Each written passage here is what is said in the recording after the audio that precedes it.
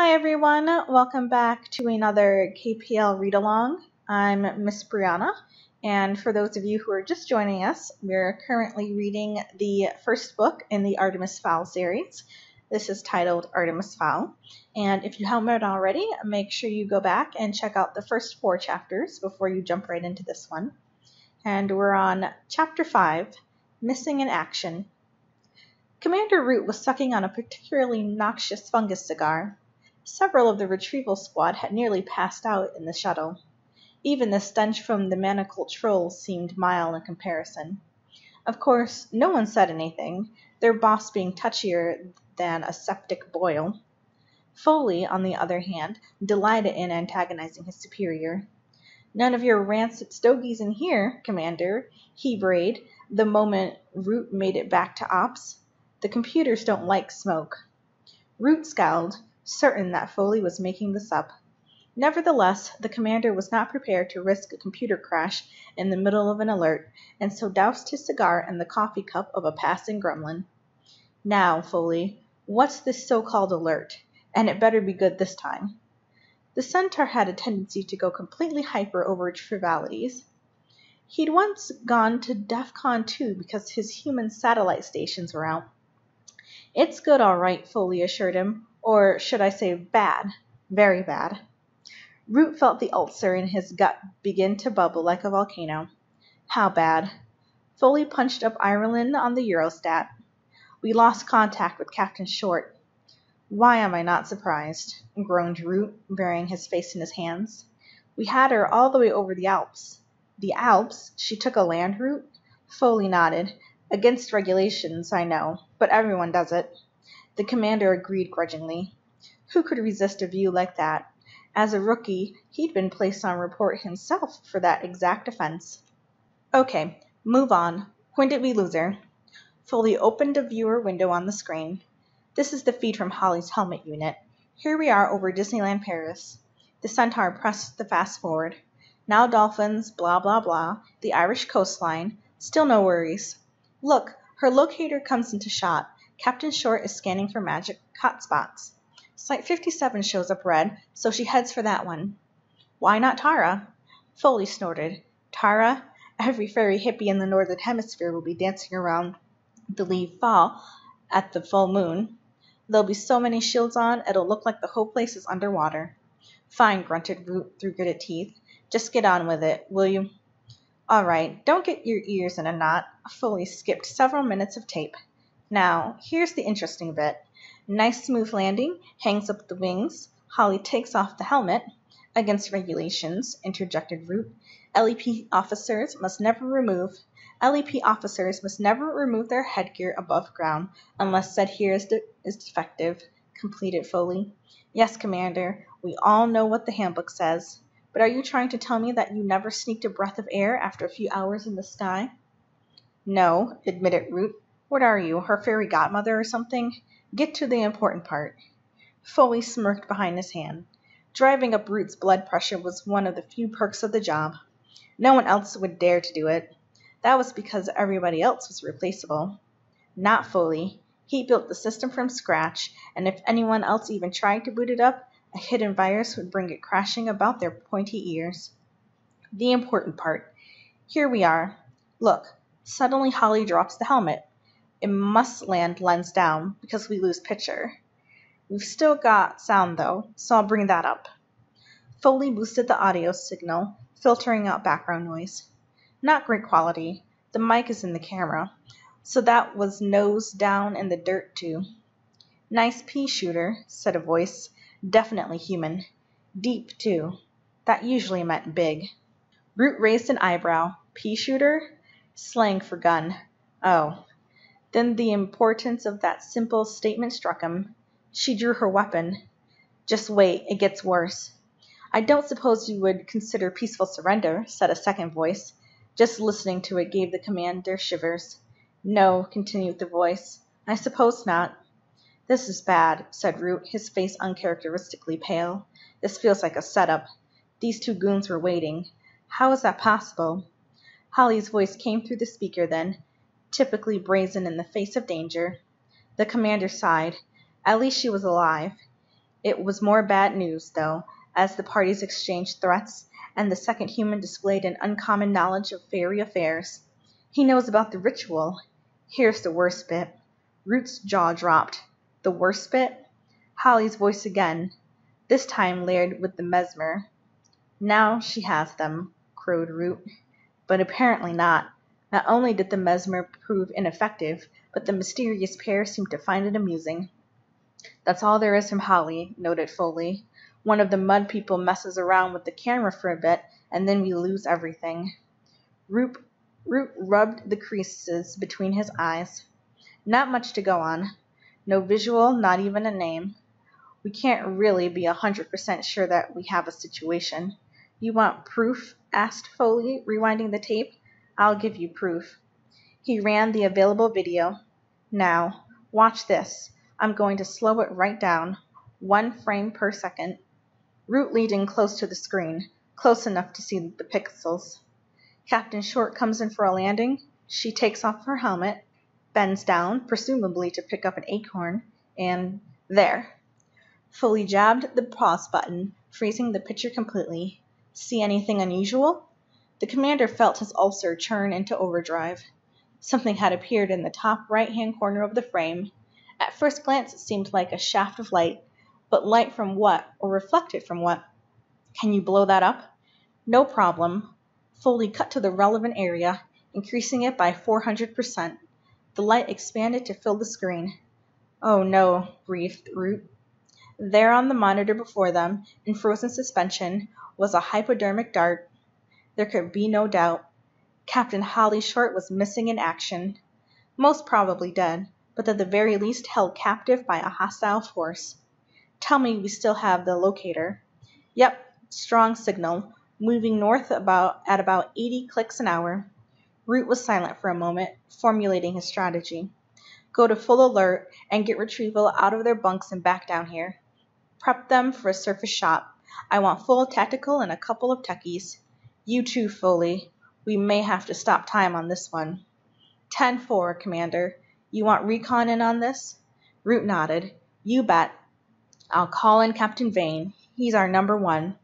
Oh no, said Root. For a job like this, we need our very best. And that's me. I'm reactivating myself. Foaly was so amazed he couldn't even formulate a smart comment. You're. you're.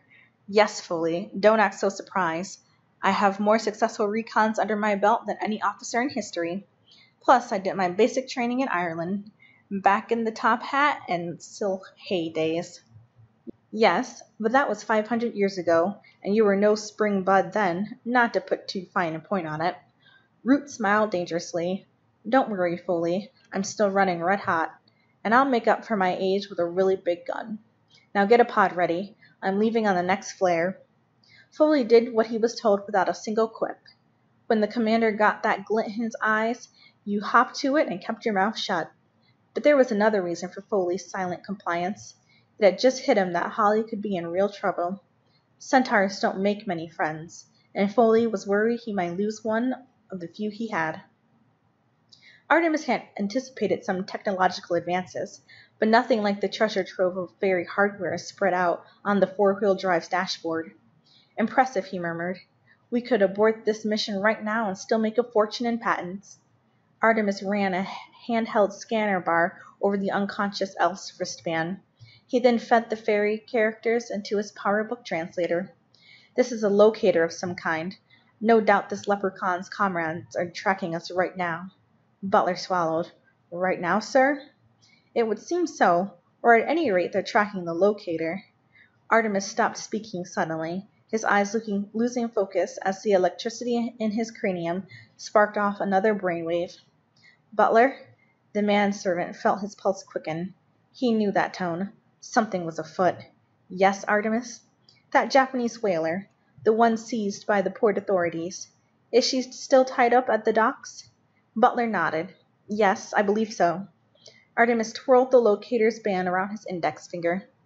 Good. Take us down there. I believe it's time to let our diminutive friends know exactly who they're dealing with. Root rubber stamped his own reactivation with remarkable speed, very unusual for LEP upper management. Generally it took months, and several mind-crushingly dull meetings to approve any application to the recon squad. Luckily, Root had a bit of influence with the commander. It felt good to be back in a field uniform, and Root even managed to convince himself that the jumpsuit was no tighter around the middle than it used to be. The bulge, he rationalized, was caused by all the new equipment they jammed into these things. Personally, Root had no time for gadgetry. The only items the commander was interested in were the wings on his back and the multi-phase, water-cooled, tri-barreled blaster strapped to his hip, the most powerful production handgun under the world.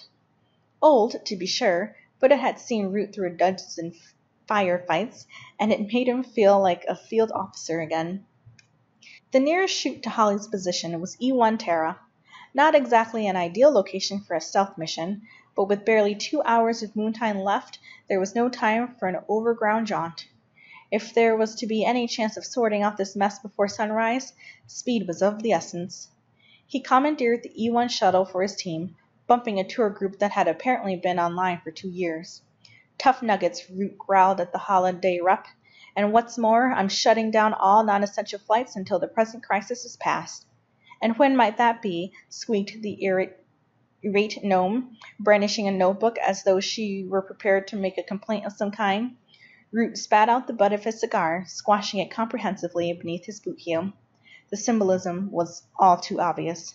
The chutes will be opened, madame, I feel like it, growled the commander, and if you in your fluorescent uniform don't get out of my way, I'll yank your operating license and have you thrown into the cells for obstructing an LEP officer. The holiday rep wilted before him and slunk back into line, wishing her uniform wasn't quite pink, so pink. Foaly was waiting at the pod. Serious though the moment was, he couldn't resist an amused whinny at the sight of Root's belly wobbling ever so slightly in his clinging jumpsuit. Are you sure about this, Commander? Generally we allow only one passenger per pod. What do you mean, snarled Root. There is only one. Then he caught Foaly's meaningful glance at his stomach. Oh, ha, ha! Very amusing. Keep it up, Foaly. I have my limit, you know. But it was a hollow threat and they both knew it. Not only had Foaly built their communications network from scratch, but he was also a pioneer in the field of flare prediction. Without him, human technology could very easily catch up with the fairy brand. Root strapped himself into the pod. No half-century-old crafts for the commander. This baby was fresh off the assembly line. All silver and shiny, with the new jagged fin stabilizers that were supposed to read the magma currents automatically. Foaly's innovation, of course. For a century or so his pod designs had leaned toward the futuristic, plenty of neon and rubber. Lately, however, his sensibilities had become more retrospective, replacing the gadgetry with walnut dashes and leather upholstery. Root found this old style decor strangely comforting.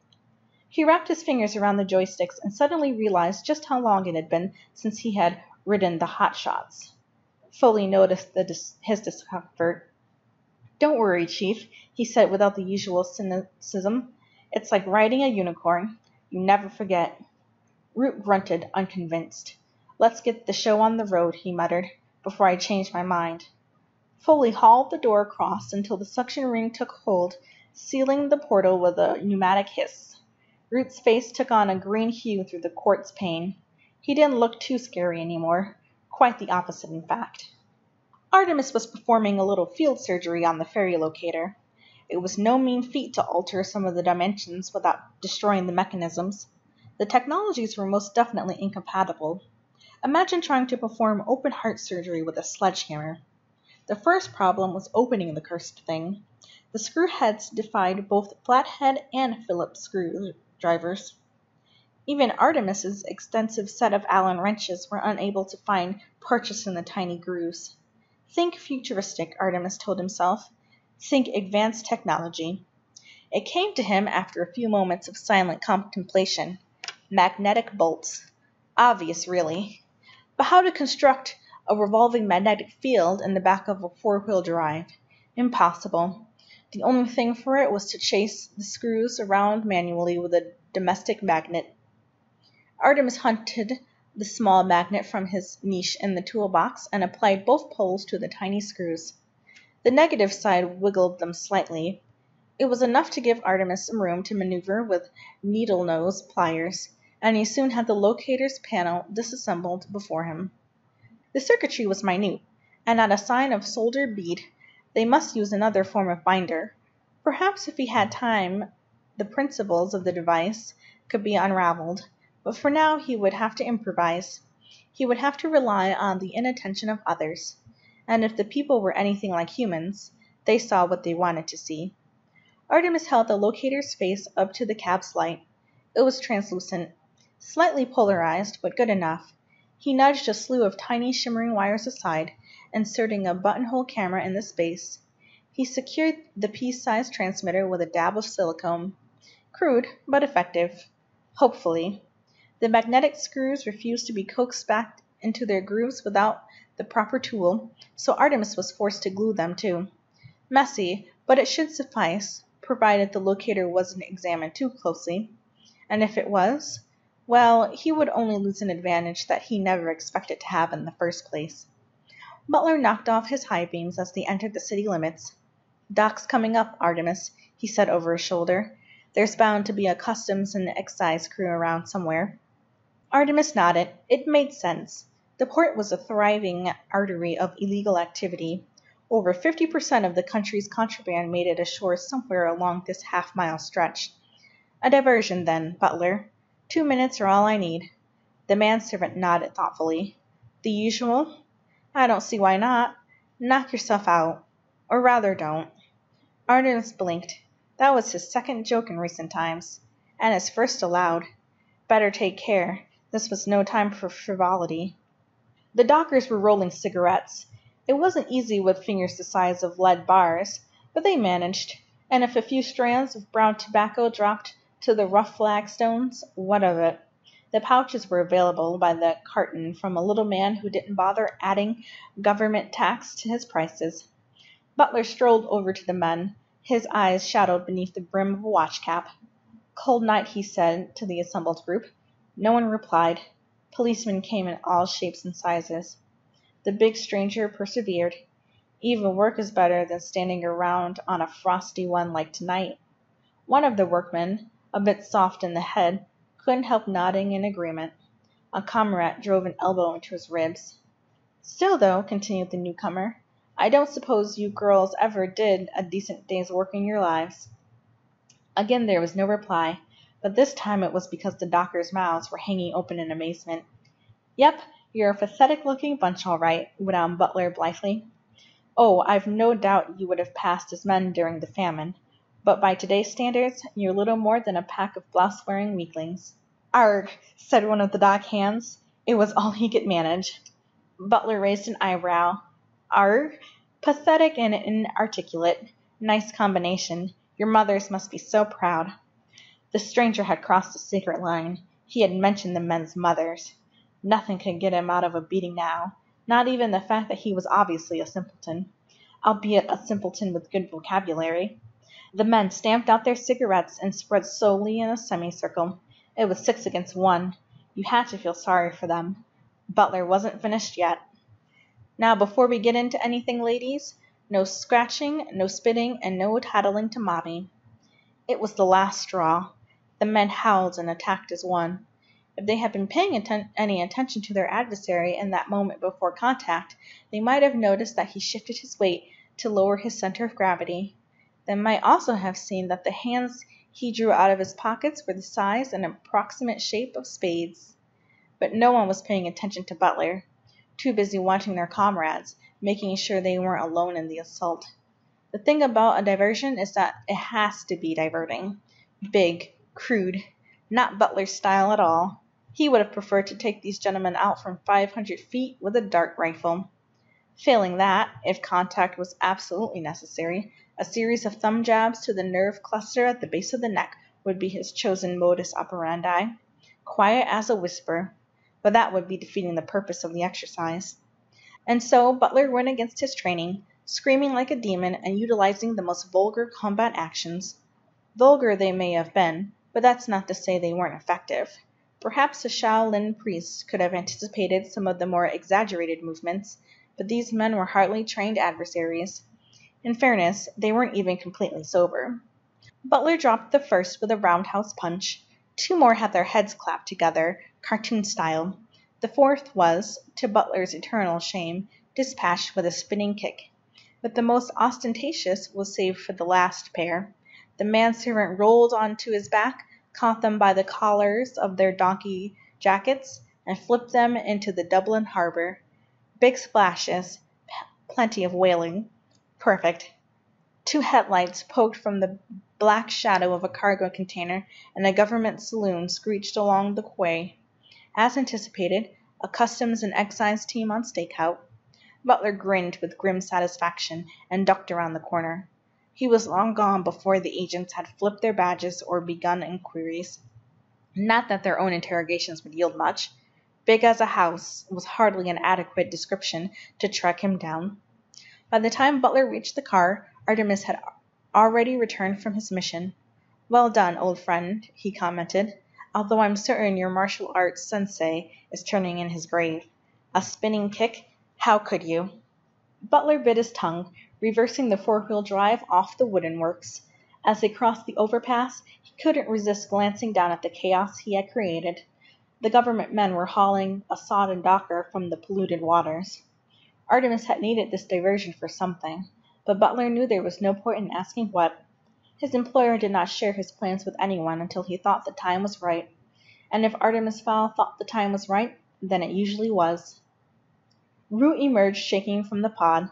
He didn't remember it being like this in his time, although, truth be told, it had probably been an awful lot worse. Back in the Shillelagh days, there were no fancy polymer harnesses, no auto thrusters, and certainly no external monitors. It was just gut instinct and a touch of enchantment. In some ways Root preferred it like that. Science was taking the magic out of everything. He stumbled down the tunnel into the terminal. As the number one preferred destination, Tara had a fully fledged passenger lounge. Six shuttles a week came in from Haven City alone. Not on the flares, of course. Paying tourists didn't like to be jostled around quite that much, unless of course they were on an illegal jaunt to Disneyland. The fairy fort was crammed with full moon overnighters complaining about the shuttle suspensions. A beguiled sprite was sheltering behind her ticket desk, besieged by angry gremlins. There's no point hexing me, squealed the sprite. There's the elf you want right there. She pointed a quivering green finger at the approaching commander. The gremlin mob turned on Root, and when they saw the triple barreled blaster on his hip, they kept right on turning. Root grabbed the microphone from behind the desk and hauled it out to the extent of its cable. "Now hear this," he growled, his gravelly tones echoing around the terminal. "This is Commander Root of the L.E.P. We have a serious situation above ground, and I would appreciate cooperation from all you civilians. First, I would like you all to stop your gapping so I can hear myself think." Root paused to make certain his wishes were being respected. They were. Secondly, I would like every single one of you, including those squalling infants, to sit down on the courtesy benches until I have gone on my way.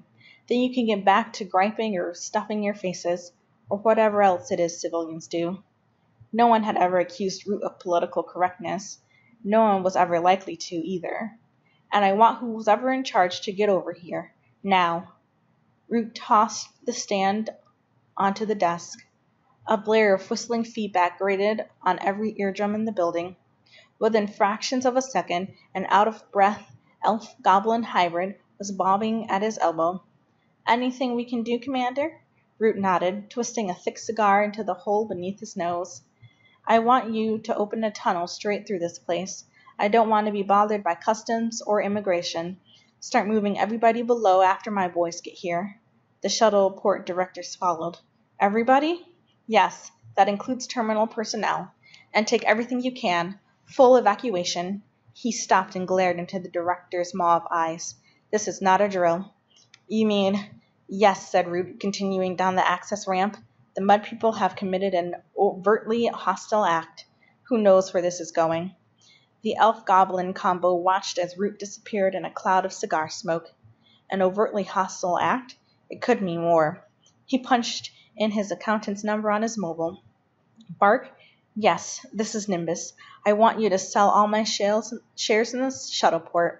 Yes, all of them. I have a hunch the price is about to take a severe dive. Captain Holly Short felt as though a sucker slug was drawing her brain through her ear hole. She tried to figure out what could possibly have caused such agony, but her faculties didn't stretch to memory just yet. Breathing and lying down were about all she could manage.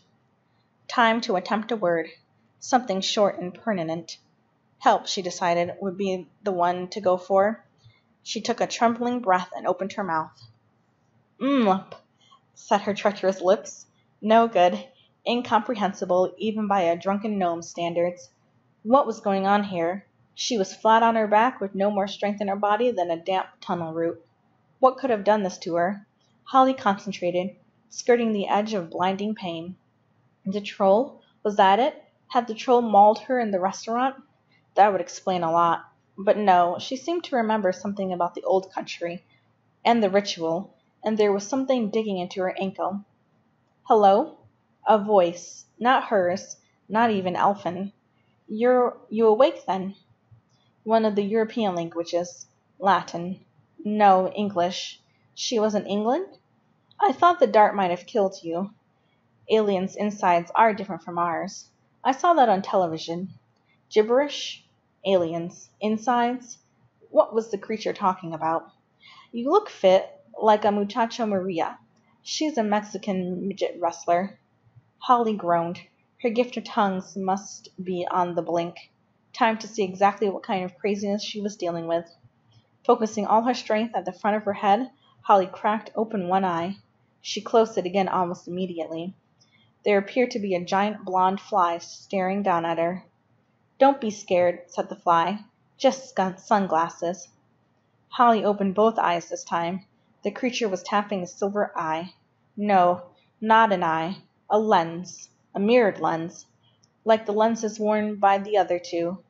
It all came back in a jolt, rushing to fill the hole in her memory like a combination lock clicking into place. She had been abducted by two humans during the ritual, two humans with an extraordinary knowledge of fairy affairs. Holly tried speaking again. Where where am I? The human giggled delightedly, clapping her hands together. Holly noticed her nails, long and painted. You can speak English. What sort of accent is that? Sounds like a little bit of everything." Holly frowned. The girl's voice was corkscrewing right to the middle of her headache. She lifted her arm. No locator. "Where are my things?" The girl wagged her finger, as one might at a naughty child. "Artemis had to take your little gun away, and all those other toys. Couldn't have you hurting yourself." Artemis? Artemis Fowl. This was all his idea. Everything's always his idea. Holly frowned. Artemis Fowl. For some reason, even the name made her shiver. It was a bad omen. Fairy intuition was never wrong. They'll come for me, you know, she said, her voice rasping through dry lips. You don't know what you've done. The girl frowned. You're absolutely right. I have no clue what's going on, so there's no future in trying to psych me out. Holly frowned. It was obviously pointless playing mind games with this human. The mesmer was her only hope, but that couldn't penetrate reflective surfaces. How the devil did these humans know that? That could be worked out later. For now she had to figure a way to separate this vacuous girl from her mirrored sunglasses. You are a pretty human, she said, voice dripping with honey flattery. Why, thank you, Holly. Why, thank you, Holly. I was in the local paper once. I won a competition. Miss Sugar Beet Fair, 1999. I knew it. Natural beauty. I bet your eyes are spectacular. So everyone tells me, Juliet nodded. Lashes like clock springs. Holly sighed. If only I could see them. Why ever not? Juliet's fingers curled around the glass's stem. Then she hesitated. Maybe I shouldn't. Why not? Just for a second. I don't know. Artemis told me never to take these off. He'd never know. Juliet pointed to a view cam mounted on the wall. Oh, he'd find out. Artemis finds out about everything. She leaned in close to the fairy. Sometimes I think he can see inside my head, too. Holly frowned, foiled again by this Artemis creature. Come on, one second. What harm could it do? Juliet pretended to think about it. None, I suppose. Unless, of course, you're hoping to nail me with the mesmer. Just how stupid do you think I am?" "I have another idea," said Holly, her tone altogether more serious. "Why don't I get up, knock you out, and take those stupid glasses off?" Juliet laughed delightedly, as if this was the most ridiculous thing she had ever heard. "Good one, fairy girl." "I'm deadly serious, human." "Well, if you're serious," sighed Juliet, reaching a delicate finger behind her lenses to wipe away a tear, "two reasons. One, Artemis said that while you're in a human dwelling you have to do whatever we want, and I want you to stay on that cot." Holly closed her eyes. Right again. Where did this group get their information? And two, Juliet smiled again, but this time there was a hint of her brother in those teeth. Two, because I went through the same training as Butler, and I've been dying for somebody to practice my pile driver on. We'll, we'll see about that, human, thought Holly. Captain Short wasn't a hundred percent yet, and there was also the small matter of the thing digging into her ankle. She thought she knew what it could be, and if she was right, then it could be the beginnings of a plan. Commander Root had Holly's locator frequently keyed into his helmet face screen. It took Root longer than expected to reach Dublin. The modern wing rigs were more complicated than he was used to. Plus he neglected to take refresher courses. At the right altitude he could almost superimpose the luminous map on his visor over the actual Dublin streets below him. Almost. Foaly, you pompous centaur, he barked into his mouthpiece. "Problem, boss man?" came the tinny reply. "Problem? You can say that again. When was the last time you updated the Dublin files?" Root could hear sucking noises in his ear. It sounded as though Foaly was having lunch. "Sorry, Commander. Just finishing off this carrot. Um, Dublin. Let's see. Seventy five 1875. I thought so. This place is completely different. The humans have even managed to change the shape of the coastline. Foaly was silent for a moment. Root could just imagine him wrestling with the problem. The Centaur did not like to be told any part of his system was out of date. "Okay," he said at last. "Here's what I'm going to do. We have a scope on a satellite TV bird with a footprint in Ireland." "I see," muttered Root, which was basically a lie. "I'm going to email last week's sweep direct to your visor. Luckily there's a video card in all the new helmets. Luckily. The tricky bit will be to coordinate your flight pattern with the video feed." Root had had enough. "How long, Foaly?" "Um, two minutes, give or take." "Give or take what?" "About ten years, if my calculations are off." "They'd better not be off, then. I'll hover until we know." One hundred and twenty four seconds later Root's black and white blueprints faded out to be replaced by full color daylight imaging. When Root moved, it moved and Holly's locator beacon dot moved too. "Impressive," said Root. "What was that, Commander?" "I said impressive," shouted Root. "No need to get a swelled head." The Commander heard the sound of a roomful of laughter, and realized that Foaly had him on the speakers. Everyone had heard him complimenting the Centaur's work. There'd be no talking to him for at least a month. But it was worth it. The video he was receiving was now was bang up to date. If Captain Short was being held in a building, the computer would be able to give him 3D blueprints instantaneously. It was foolproof. Except Foaly, the beacon's gone offshore. What's going on? Boat or ship, sir? I'd say at a guess. Root cursed himself for not thinking of it. They'd be having a big laugh in the Situation Room. Of course it was a ship. Root dropped down a few hundred feet until its shadowy, shadowy outline loomed through the mist. A whaler by the looks of it. Technology may have changed over the centuries, but there was still nothing like a harpoon to slaughter, slaughter the world's largest mammal. Captain Short is in there somewhere, Foaly. Below decks. What can you give me? Nothing, sir. It's not a permanent fixture. By the time we've run down her registration, it'd be way too late. What about thermal imaging? "No, Commander. The hull must be at least fifty years old. Very high lead content. You can't even penetrate the first layer. I'm afraid you're on your own." Root shook his head. "After all the billions we poured into your department, remind me to slash your budget when I get back."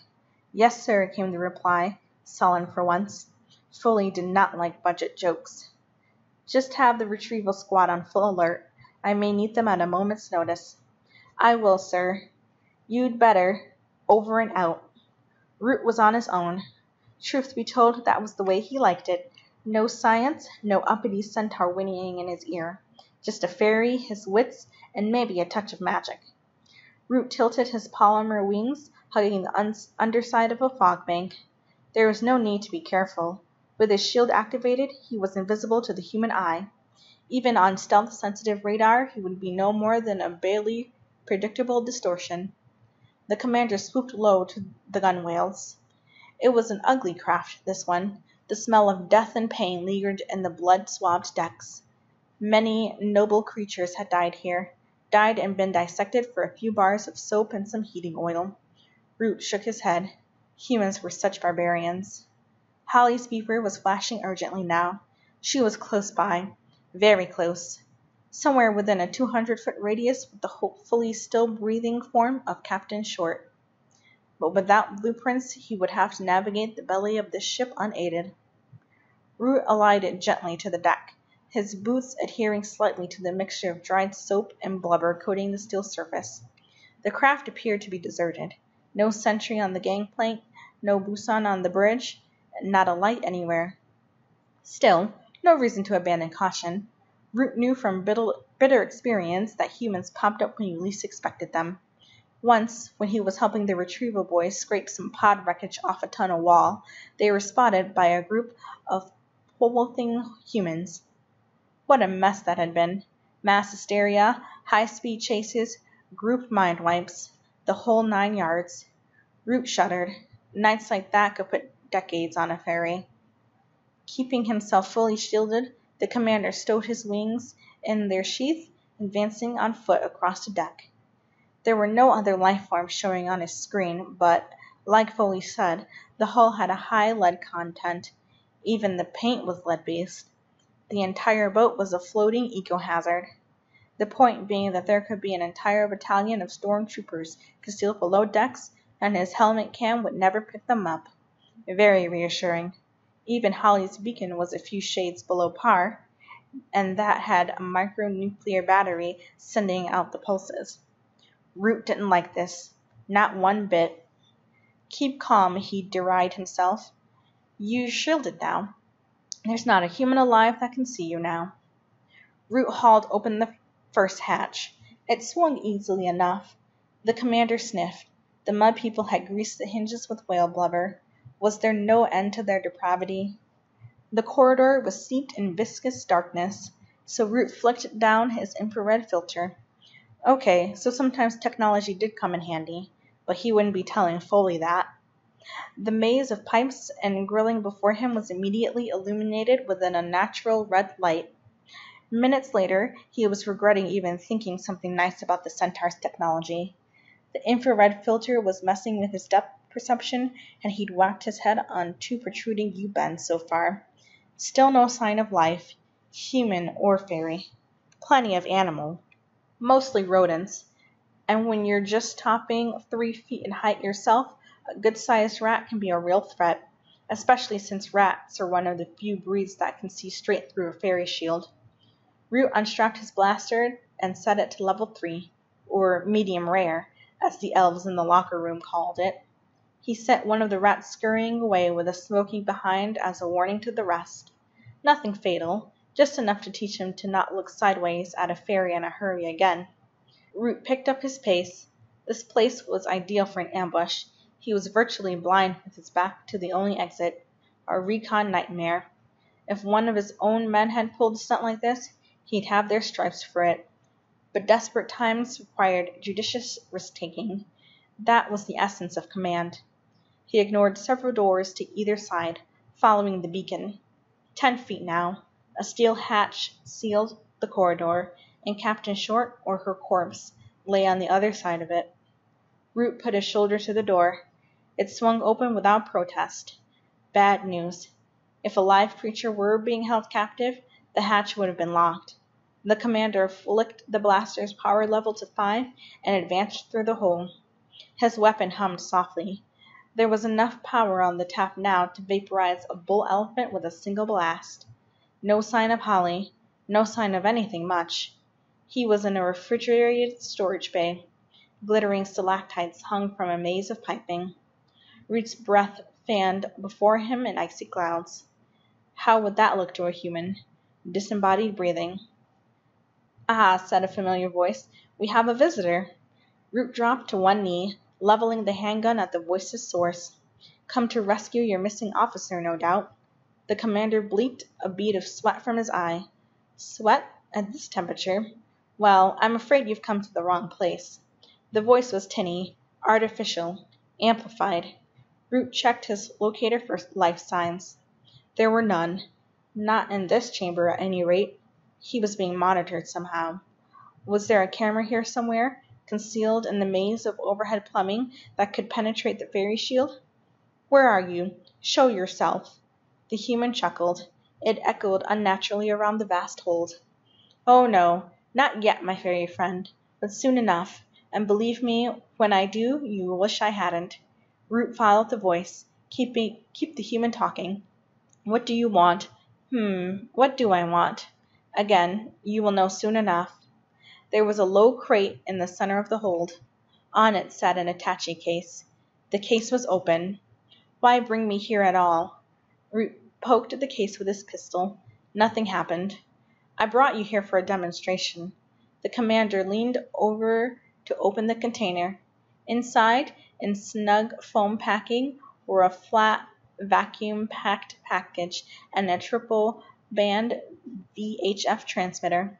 Resting on top was Holly's locator. Root groaned. Holly wouldn't willingly give up her equipment. No LEP officer would. What sort of demonstration, you demented freak? Again that cold chuckle.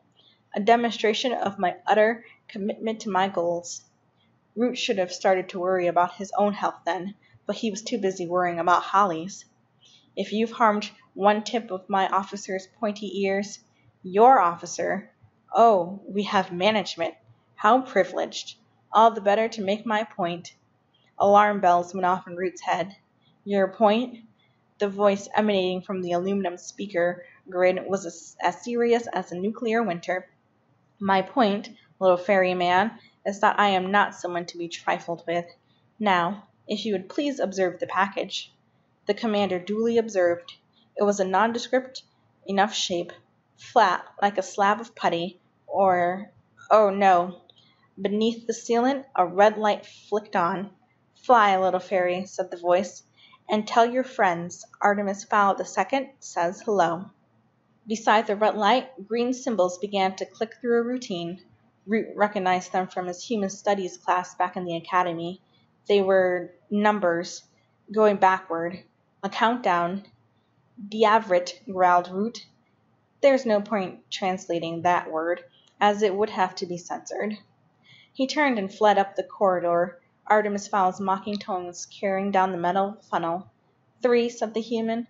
Two, D'Arvit, repeated Root. The corridor seemed much longer now. A sliver of starry sky peeked through a wedge of open door. Root activated his wings. This would take some fancy flying. The hummingbird's span was barely narrower than a ship's corridor. One. Sparks flew as the electronic wings scraped a protruding pipe. Root cartwheeled, righting himself at Mach 1. "Zero," said the voice. Boom! Inside the vacuum packed package a detonator sparked, igniting a kilogram of pure Semtex. The white hot reaction devoured the surrounding oxygen in a nanosecond and surged down the path of least resistance, which was, of course, immediately after LEP Commander Root. Root dropped his visor, opening the throttle to maximum. The door was just a few feet away now. It was just a matter of what reached it first, the fairy or the fireball. He made it, barely. He could feel the explosion rattling his torso as he threw himself into a reverse loop. Flames latched onto his jumpsuit, licking along his legs. Root continued his maneuver, crashing directly into the icy water. He broke the surface swearing. Above him the whaler had been totally consumed by noxious flames. "Commander," came a voice in his earpiece. It was Foaly. He was back in range. "Commander, what's your status?" Root lifted free of the water's grip. "My status, Foaly, is extremely annoyed. Get on your computers. I want to know everything there is to know about one Artemis Fowl, and I want to know it before I get back to base. Yes, sir, Commander. Right away. No wisecrack even Foaly realized that this was not the time. Root hovered at 300 yards. Below him the blazing whaler drew emergency vehicles like moth to a light. He dusted charred threads from his elbows. There will be a reckoning for this Artemis fowl. He vowed it. Count on it. And that's the end of chapter 5.